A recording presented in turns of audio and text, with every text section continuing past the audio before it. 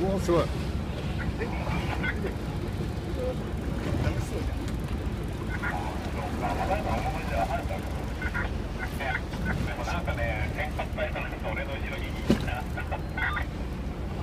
いよ天秤取って。はい。突っ張ったら離すだよ。突っ張ったら離すだよ頭上げちゃうと静かになっちゃうから頭上げちゃう曲がないでね手にね手に曲がないようにいいよ結構強いこれ取ってやって針が針だ